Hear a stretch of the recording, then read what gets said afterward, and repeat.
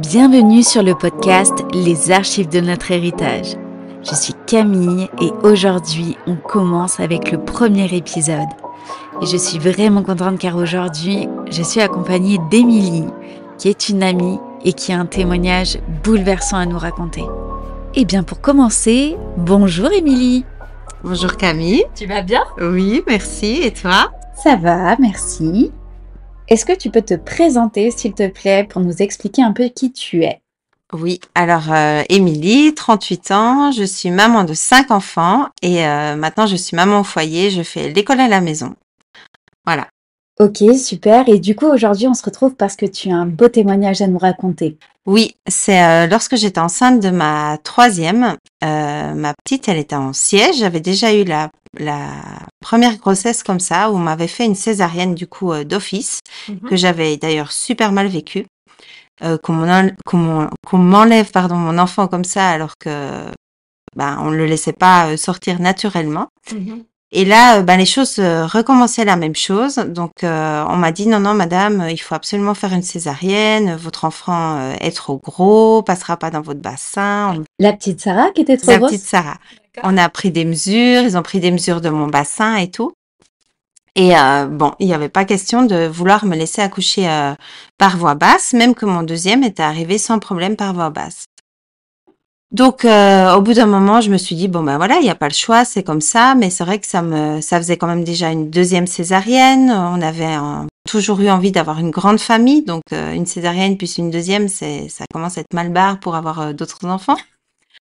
Et euh, mon mari, lui, persistait à me dire mais non, euh, il faut qu'on prie, tu vas voir, elle va se retourner et tout. Puis pour notre premier, j'avais déjà vraiment cru et j'avais la foi que notre notre fils se retourne, mais il ne s'est jamais retourné.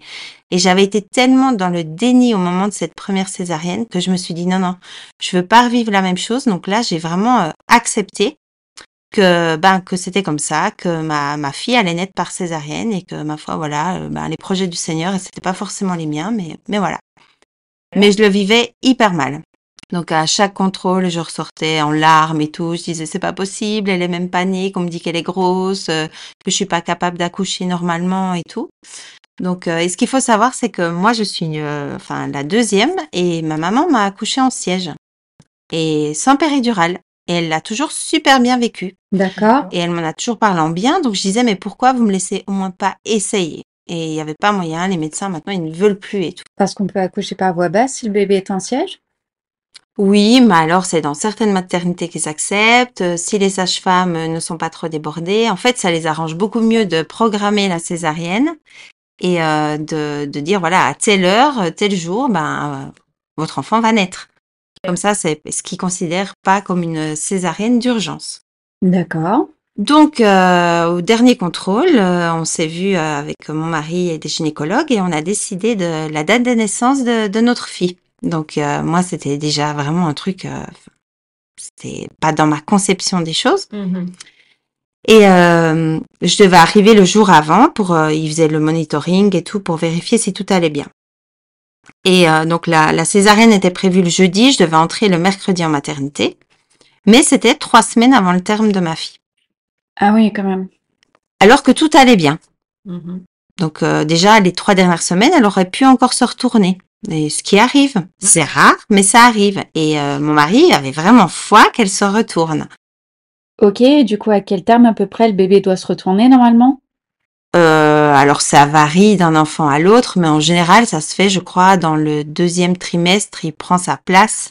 Puis après, comme il grandit, il se remet, il, il n'est pas censé se retourner. D'accord, ok. Ouais. Après, peut-être à vérifier, je suis pas sûre sur des dates, malgré mes cinq enfants, mais euh, je, je crois que de toute façon, à la deuxième écho, ils vérifient déjà ça et, et assez, assez rapidement, ils insistent avec ça. Il faut que le bébé soit bien placé et tout. Ok. Mais il a quand même la possibilité de se retourner jusqu'à la dernière.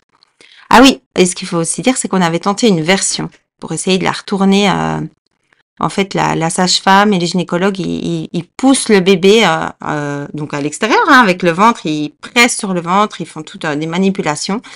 Mais elle, il y avait le placenta qui coinçait d'un côté, donc c'était, elle, elle n'allait de toute façon pas pouvoir se retourner euh, avec leur façon à eux. Donc voilà. Et le dimanche avant que ma césarienne ait lieu, euh, mon mari devait aller prêcher dans une église qui était loin de chez nous Mhm. et il faisait très très chaud à ce moment-là. Moi, j'étais vraiment fatiguée. Il m'a dit, écoute, euh, je comprends que tu veux pas venir avec moi à cause de la route, mais j'aimerais bien que tu ailles au culte avec mes parents. On était chez ses parents à ce moment-là. Ok. C'est moins loin, t'as pas, c'est pas toi qui dois conduire et tout, mais vraiment, j'insiste que tu ailles à ce culte. Bon, j'étais pas plus motivée que ça, mais je me suis dit, bon, bah, je vais y aller. Mhm. Donc, je suis allée à l'église avec euh, mes beaux-parents mes- et mes deux autres enfants. Euh, il faisait tellement chaud que j'ai gonflé des jambes et que je n'ai pas pu rester dans la salle. J'ai dû sortir. Euh, Il y avait une petite fille qui était là, une petite fille africaine. Je l'avais jamais vue dans cette église. Elle faisait que venir jouer vers moi. Je me suis dit, c'est super. Je fais des sourires à cette petite. Mais mon mari me dit soi-disant que je vais vivre quelque chose au culte. Euh, là, je ne suis même pas dans la salle de culte. Donc, je ne comprenais vraiment pas ce que je faisais là. Ouais. J'aurais été mieux euh, chez moi, au frais.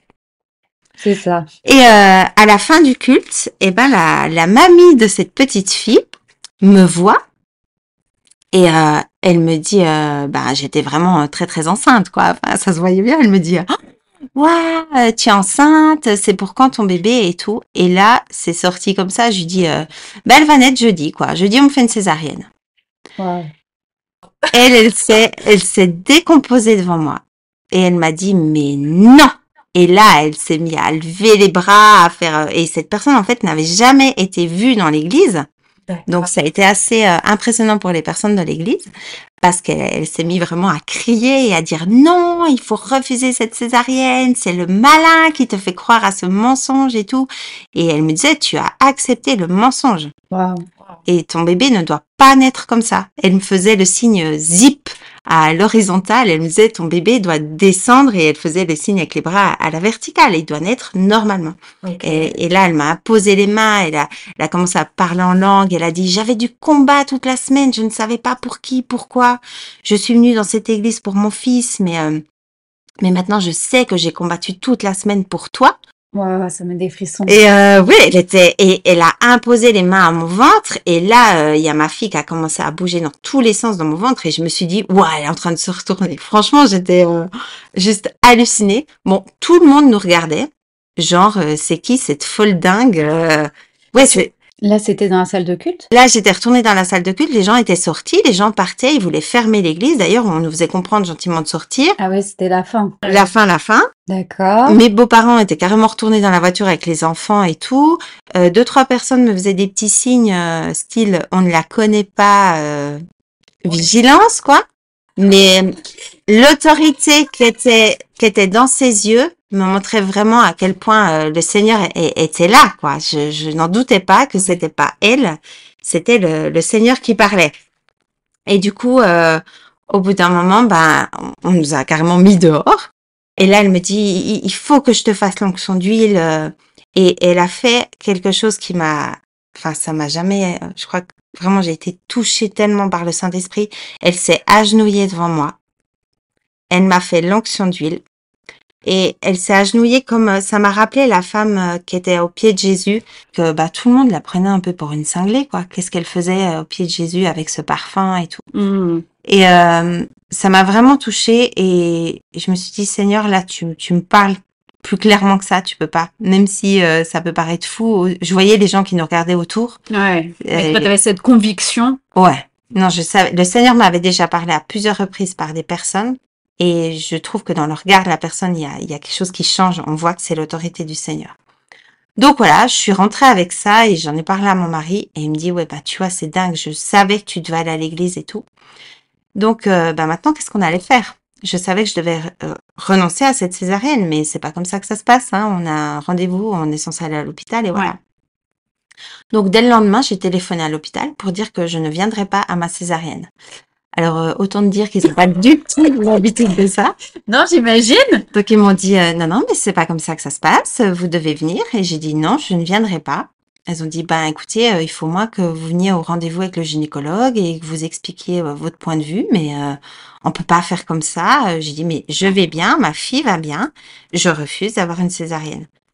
Et euh, donc on a on, on est allé au rendez-vous, on avait vraiment pris avant parce qu'on a senti que le combat était là. Ouais. On n'en a pas parlé autour de nous. On voulait vraiment garder ça pour nous et garder cette. euh, pour nous, c'était comme une perle qui nous avait été donnée. On voulait pas. voilà, qu'après les gens di- disent des choses ou euh, qu'on veut prendre des risques pour moi ou la vie Mhm. du bébé et tout ça. Donc on allait à ce rendez-vous et euh, honnêtement, j'avais dit à mon mari, tu me laisses pas avec eux parce que j'avais tellement peur en fait qu'ils me gardent comme de force. Ouais. Et euh, Ouais, bon, ouais. mon mari c'est un viking, je savais qu'il allait, Ouais, je savais qu'il allait leur faire peur, donc ils allaient pas me laisser, donc ça allait. Et tout de suite, euh, franchement, la sage-femme, elle nous a bien fait comprendre qu'en fait, euh, ils me feraient des contrôles, mais qu'ils allaient me garder.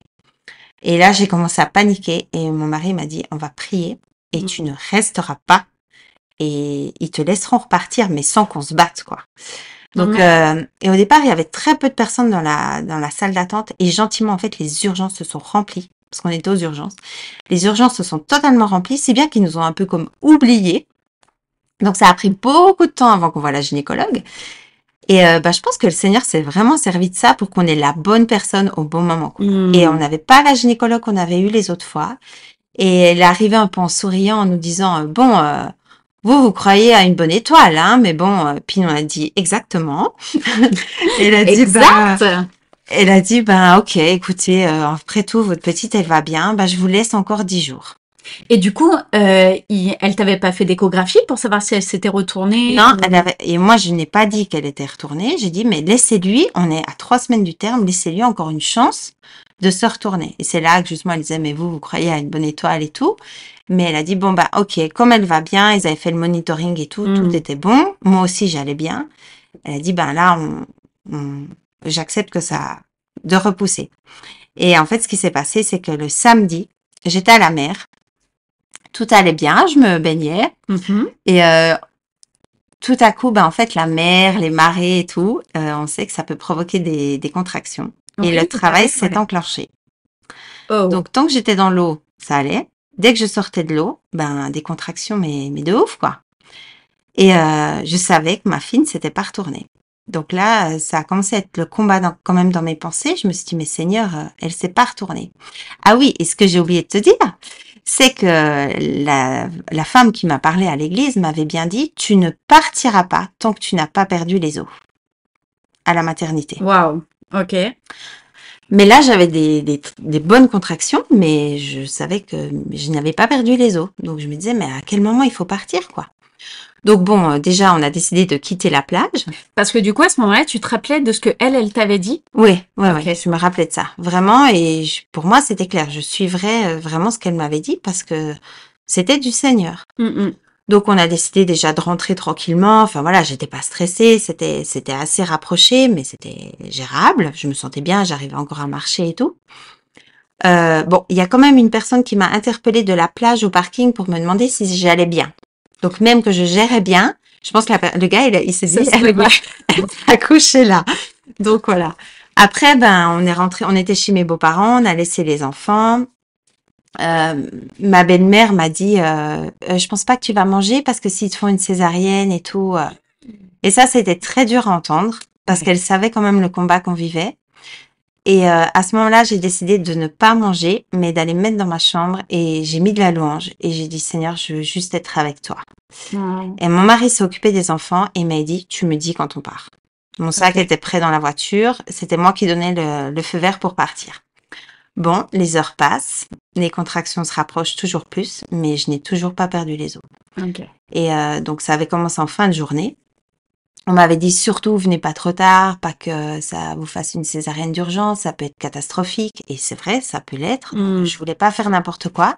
Là aussi, il y a tout ce petit combat qui commence dans ta tête. euh, ouais, est-ce que j'attends encore? Est-ce que j'y vais? Qu'est-ce qu'on fait? Et au bout d'un moment, bah, franchement, mon mari, vous voyez quand même souffrir. Et euh, il me dit, mais non, mais là, il faut, qu'on- enfin, on y va, quoi. Et après, je me suis dit, bah, je vais perdre les os le long de la route. Ouais. Donc, euh, on a mis des serviettes dans la voiture au cas où. euh, Ouais, bah oui. Donc voilà. Et au moment de partir, en fait, ben, je, j'ai dit, non, il faut encore vite que j'aille au WC et tout ça. Et j'ai perdu les os sur les toilettes. Waouh. Mais j'ai perdu les os et je l'ai senti descendre d'un coup. Oh. Et je savais qu'elle n'était pas retournée. Donc là, on est tant bien que mal parti. Tu Et le sentais? je la sentais. Je la sentais. Elle est, et en fait, elle est passée de haut à bas. Il n'y a pas eu de, de milieu. Vraiment. Mais tu savais que c'était Ouais. ses fesses qui étaient là. Oh, je savais que c'était ses fesses. Et là, je savais qu'il faudrait donner tout, quoi. Donc, euh, on est parti. Mon mari met son GPS, 45 minutes euh, jusqu'à la clinique. Je savais que on n'aurait pas 45 minutes. J'avais déjà accouché une fois euh, par voie basse. Je savais très bien qu'on n'aurait jamais le temps. Il a commencé à rouler comme un dingue. J'ai dit, je t'en supplie, tu vas m'écouter. Et je crois que c'est la seule fois de sa vie où il m'a autant écouté. Et je voyais le, le parking du Super U au loin. Je lui Ouais. dit, tu vas t'arrêter sur ce parking. Tu vas appeler les pompiers. Elle va arriver. Il a fait. Les pompiers disaient, Madame, mettez-vous, euh, enfin, au téléphone d'abord, Madame, mettez-vous allongée euh, sur la banquette arrière. J'ai dit, pas question. Je me suis agrippée à ma voiture. Je me suis dit, euh, après, ils vont me rallonger dans le camion pompier. Euh, je, je sentais Mhm. trop qu'elle était là. Je, Ouais, ouais. je- je voulais juste pousser pour qu'elle sorte, en fait. Et quand les pompiers sont arrivés, ils ont voulu que mon mari euh, nous suive en voiture. Lui, il a dit, pas question. Je reste avec elle. Ils ont accepté. C'est les pompiers, un des pompiers qui a conduit notre voiture. Donc ça, c'était un miracle, carrément. Waouh. Et lui, il a commencé à prier en langue et tout ça discrètement, mais vraiment à, voilà, on ce, ce, ce temps au Seigneur. Ouais. Et avec le médecin, euh, ils sont pas du tout habitués à ça, donc ils savent Mhm. pas du tout comment faire. Donc il y a le médecin du SAMU qui est arrivé. Je l'oublierai jamais, lui, avec ses grandes lunettes rouges qui pressaient sur mon ventre, puis il disait, Hum, c'est marrant, les contractions me semblent pas très rapprochées et tout. Et il posait des questions à mon mari et tout. Puis, euh, Et c'est moi qui accouche, c'est pas lui. Et en fait, c'était, mais dans ma tête, au bout d'un moment, j'ai entendu une voix qui me disait pousse. Mais comme ça, vraiment pousse. Je me suis dit c'est le moment. Mais sauf qu'elle était pas du tout prêt. Et Et là, le camion était en train de rouler. En, en train de rouler à fond la caisse et euh, ils, ils faisaient que alors ils étaient vraiment mais tous des amours les pompiers. J'ai eu droit à deux fois des accouchements avec des pompiers. C'est vraiment mais il n'y a pas plus merveilleux. Enfin, ils ne regardent rien, ils ne se posent aucune question. C'est vous êtes la meilleure, c'est parfait ce que vous faites. Parce qu'ils sont pas habitués à ça. Ah donc c'est ah bah génial. mais en même temps, voilà, là, ils ne comprenaient pas que j'allais accoucher. Et en fait, ce que j'ai fait, ce qui ne me ressemble pas du tout, toi qui me connais, c'est que j'ai hurlé, elle sort! Et là, ils, style, ils se sont réveillés, quoi, elle sort? Et c'est mon mari qui a dit, bah là, elle, elle va pousser, quoi. Et euh, mon mari, il a dit, vas-y, ma chérie, pousse et tout. Et j'ai poussé deux fois et elle était dehors. Waouh. Donc, ce qu'il faut savoir, ce qui se passe avec une- un siège, c'est que la première fois, tu pousses, t'as tout le corps qui sort, Ouais. mais t'as la tête qui est coincée. Ok. Et c'est là qu'il peut se passer des césariennes catastrophiques, enfin, des, des accouchements catastrophiques Catastrophique, ouais. où ils n'ont pas le temps de faire une césarienne et le bébé meurt. Donc là, et le problème, c'est qu'on dit, ouais, mais la tête, c'est plus petit que des fesses. Mais sauf que l'utérus, il va se refermer au moment où le corps du bébé a passé. Ah bah il oui. se referme et du coup, la tête reste coincée. Donc là, je te promets, j'ai- poussé, mais moi, comme une dingue, quoi. Mais en deux coups, elle était dehors, quoi. La première fois, le corps, la deuxième fois, la tête, mais j'ai j'ai tout donné, quoi. Enfin, mon mari m'a dit, je ne t'avais jamais vu comme ça. Une bête, quoi. Mais Et elle est sortie. Et là, ils étaient tous là. Étaient heureux, ils en revenaient pas. accouché. J'ai accouché, il est en train de rouler sur le, bah, je vais pas forcément dire l'endroit, mais on était sur un viaduc euh, sur l'autoroute, au Waouh. milieu de la nuit. Donc là, ils étaient, enfin, vraiment, ils ont crié des hurrahs, bravo Madame Rabi, c'était génial et tout. euh. Donc c'était juste la fête. Et moi, j'étais là, mais waouh, Seigneur, jamais, jamais j'aurais pensé ça. Mais oui. Moi, elle allait se retourner, j'allais à la coucher à ma maternité tranquille. Et en fait, non. Et il s'est- après, euh, ben, ils ont pris euh, ma petite euh, Sarah dans, dans une couveuse. Hmm. Et puis, ils nous ont amenés euh, à la maternité. J'ai perdu tout le, le placenta, tout ça à la maternité. Ils ont contrôlé, tout allait bien. Sarah allait super bien. Et ils m'ont dit, vous avez bien fait de refuser votre césarienne. Elle n'aurait servi à rien. Votre petite, vous nous l'avez sortie en deux coups, comme une fusée. Waouh. Donc voilà. Je suis très très émue déjà parce que euh, je te jure, c'est la première fois que tu me la tu me le racontes. Et pourtant, tu me dis, mais non, je t'ai jamais raconté ça. Mais non. Et, euh, et je suis très émue, surtout de savoir à quel point ça peut être dangereux, en fait, d'accoucher euh, en siège, Oui. mais que tu as eu la foi. Oui, j'ai eu la foi, mais il y a eu beaucoup de doutes parce que justement, en fait, euh, c'est leur job, mais ils font que de te répéter tout ce qui peut arriver De pire. de pire. Et quand mon mari tape un peu du poing sur la table pour dire, mais écoutez, on a pris une décision, et en gros, il le faisait passer pour, euh, ouais, mais monsieur, vous voulez quoi? Vous voulez que votre femme meure et votre bébé aussi? Donc ces paroles-là, elles sont revenues souvent. Mhm. Mais euh, bien sûr que s'il n'y aurait pas eu cette femme qui serait venue me parler, j'aurais, on serait allé à cette césarienne. Et, euh, et voilà. Puis je crois que pour mon premier, c'était bien que j'ai cette césarienne parce que Mhm. j'aurais pas été capable de sortir un bébé comme ça pour un premier. Ok. Là, je savais quand même ce que c'était, mais le Seigneur m'avait parlé au travers de cette femme, Hmm. que je précise qui n'a jamais été revue dans cette église. Et c'est vrai que des fois, je me suis dit, mais est-ce que c'était un ange? Franchement, c'était... Et après, j'ai tellement remercié le Seigneur. Pour moi, c'était un miracle. Bien Et, euh, et oui, aussi un peu une... Enfin, pour moi, c'était déjà le miracle de me dire, bah, j'aurai d'autres enfants naturellement. Hmm. Parce que là, en gros, j'ai tout prouvé, j'ai tout donné, elle est Ouais, arrivée très bien. et j'étais tellement reconnaissante et ça a été vraiment un pas de foi, mais, mais le Seigneur a, a exaucé et euh, notre petite pou- ouais, notre petite poupille, on l'appelle poupille, ben elle va tout bien et c'était pour moi c'était vraiment euh, j'ai gagné une bataille ce jour-là. Mm. Spirituellement, j'ai gagné une grande bataille. Parce que quand je voulais ma grande famille, j'ai toujours rêvé d'avoir ma grande famille, que dès le premier enfant, on vous annonce une césarienne, c'est comme si on voulait me voler quelque chose. Et ce jour-là, j'ai, remporté la victoire. Parce que tu, quand tu as, tu as vécu plusieurs césariennes, au bout d'un moment, ils te disent que tu peux Oui. pas faire Et plus d'enfants. Ils euh, déconseillent, euh, normalement ils disent 3, 4, euh, qu'après ben, ça devient dangereux, que Oui. c'est pas bien, l'utérus est fragilisé et tout. Après c'est toujours des, des théories, mais et, et voilà, mais il faut quand même toujours faire la part des choses entre ce que dit la médecine, ce qui Mhm. est juste et tout. Il faut quand même faire attention, on doit être Bien sûr. vigilant. On voulait pas faire n'importe quoi et c'est aussi pour ça qu'on n'en a pas parlé euh, tout de suite autour de nous mm, mm. parce que les gens sont toujours dans l'inquiétude et je comprends si l'hôpital qui veut se protéger Ouais. et tout ça, ils veulent le bien de la maman et de l'enfant, mais parfois c'est un peu trop médicalisé quand même. Mm. Et Donc, puis voilà. de tout ça, après, le fait d'en parler, ça te fait perdre ta foi aussi, puisque Ouais, les gens clairement. te disent, te donnent leur avis, leur Mhm. propre avis, alors qu'ils ne sont même pas médecins. Et généralement, quand on te donne trop l'avis des, des, de ces personnes, euh, tu commences à perdre en fait la foi.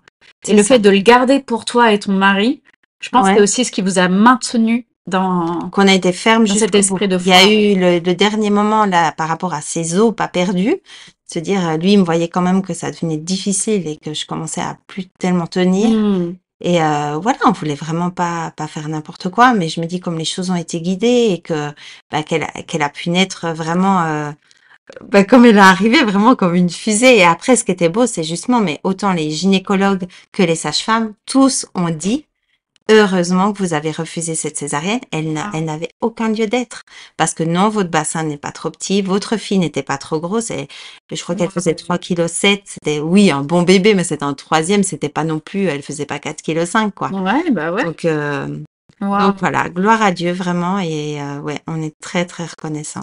C'est voilà. incroyable ce que Dieu a fait pour vous en tout cas. Et il a fait encore tellement d'autres choses. On aura peut-être l'occasion de se revoir, euh, en tout cas pour un podcast, sur d'autres histoires parce que wouh, il y en a euh, énormément.